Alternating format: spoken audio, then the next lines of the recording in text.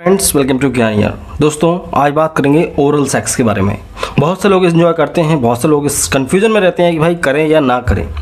और मैं आपको पहले क्लियर करूँ दोस्तों कि मैं इस तरह के वीडियोस बहुत कम बनाता हूँ। अपना चैनल जो है मेडिकल साइंस के लिए होता है मेडिसिन की जानकारी के लिए होता है। लेकिन लोगों की डिमांड रहती है, भाई आप सेक्सुअल टॉपिक्स पर वीडियो नहीं बनाते हो। तो काफ़ी लंबा समय हो गया इस तरह के टॉपिक पर वीडियो नहीं बनाई हैं। सो so, ये टॉपिक जो लिया है मैंने इस पर भी तो आपको थोड़ा डिफरेंट नॉलेज मिलेगा आपको आपका जो मन में आप सोच रहे हैं वो आपको सुनने को नहीं मिलेगा ठीक है? क्योंकि अपने चैनल की खासियत यही है और इसलिए आप हमसे जुड़े हैं ठीक है? तो बेसिकली बात करें ओरल सेक्स मतलब कि आप अपने साथी अपने पार्टनर का जो प्राइवेट पार्ट है बेजाइना या पेनिस उसको आप मुँह से सक करते हैं लिक करते हैं वट इंजॉय करते हैं। तो ये कई सारे वीडियोस मैंने देखे जो डॉक्टर बोलते हैं अपने आप को सेक्सोलॉजिस्ट बोलते हैं। वो इस तरह से इस चीज़ों को प्रमोट करते हैं कि किया जा सकता है, करना चाहिए, कोई बुरी बात नहीं है, कोई नुकसान नहीं है। इस तरह से वीडियोस को बनाया गया यूट्यूब पर कई सारे वीडियोस हैं। और ज़ाहिर सी बात है, जब आप किसी चीज़ के बारे में सोचते हैं करने का और उसके बारे में आप सर्च करते हैं तो और कोई व्यक्ति आपसे बोल दे कि हाँ किया जा सकता है तो आपके इरादे और बुलंद हो जाते हैं। सो so, यहाँ पे मैं आपको एक चीज़ कहना चाहूँगा ये बिल्कुल भी नेचुरल नहीं है ठीक है? ये इंसानियत और आपकी भावनाओं के खिलाफ है। मेरे चैनल पे आपको रियल नॉलेज मिलता है। तो कड़ी बात बोल रहा हूँ आप सुनना पड़ेगी अगर आप ये सोच रहे हैं तो। अपना काम ऐसा नहीं कि हाँ सब चीज़ प्रमोट करते रहो। जो गलत है वो भी प्रमोट करो ऐसा नहीं है। देखो, पहले की बात तो ये है कि भाई ओरल सेक्स भाई देखो, ईश्वर ने जो अंग को बनाया है, भाई आप उससे बच्चे पैदा कर सकते हो। आप बोलते हैं कि ऐसा कहा जाता है, भाई आप आत्मिक रूप से कनेक्ट हो सकते हैं। पति पत्नी की जो है सोलमेट बन सकते हैं, एक दूसरे को प्लेजर देते हैं।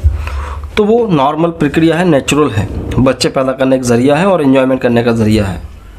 और सेक्स इन्जॉय करने के कई सारे और भी तरीके होते हैं। लेकिन अगर बात की जाए ओरल सेक्स की तो ये कहीं से कहीं तक आपको इंसानियत पर आपको जो है शक होने पर मजबूर करता है। कोई इंसान इस तरह के काम नहीं करता है, ठीक है? हो सकता है कि कुछ लोग यूज़ करते हैं इस तरह का सेक्सुअल एक्टिविटी और वो उनके ऊपर डिपेंड करता है।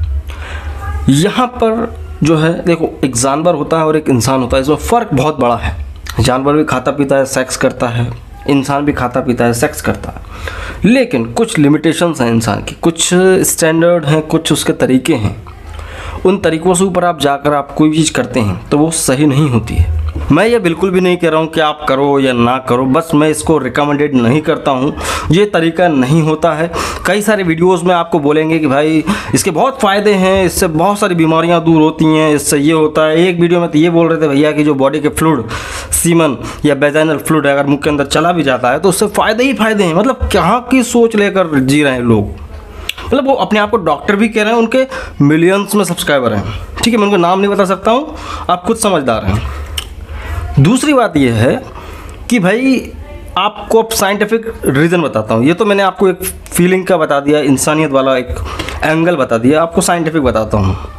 वेजाइना का पीएच अपन जानते हैं कितना ज़्यादा सेंसिटिव होता है। पीएच ऊपर नीचे होता ही रहता है। इसलिए मार्केट में कई सारे प्रोडक्ट चलते हैं कि भाई आप वेजाइना का पीएच को मेंटेन करें। वी वॉश वगैरह आपने सुना होगा नाम।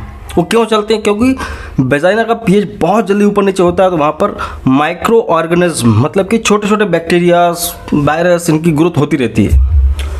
ज़ाहिर सी बात है, बदबू आती है।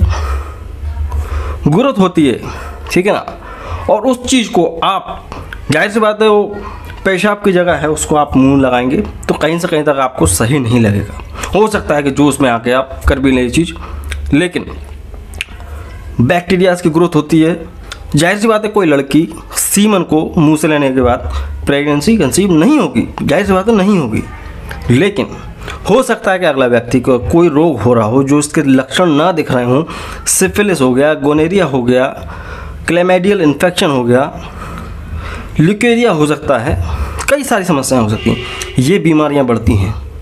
ठीक है? बीमारियों को आप दावत देते हैं। ये जो पॉन वीडियोस बनती हैं, ये एक्टिंग करते हैं लोग। पैसे के लिए एक्टिंग करते हैं, कुछ भी कुछ भी करते हैं तो इनको ज़्यादा सीरियस ना लिया करें।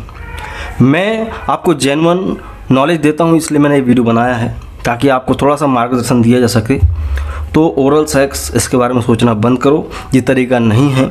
कई सारे और तरीके होते हैं, आप कहेंगे भाई फोर प्ले में क्या करें? देखो फोर प्ले बहुत ज़रूरी है सेक्स के पहले फोर प्ले करना ही चाहिए, लेकिन ज़रूरी नहीं कि आप मुँह से करें, ठीक है ना?